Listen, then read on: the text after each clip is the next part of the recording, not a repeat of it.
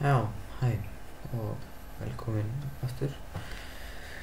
Ég ætla að tala við ykkur um mitt fyrrum myndband þar sem ég rakvort við dófu mjög mikið af fólki.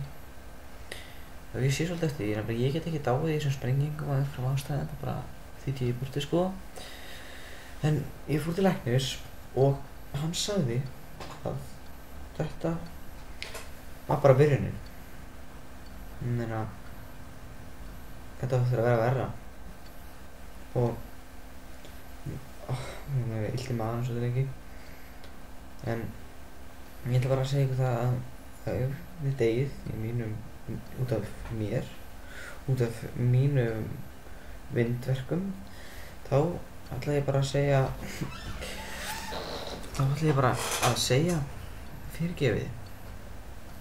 Heyrðu, oh shit.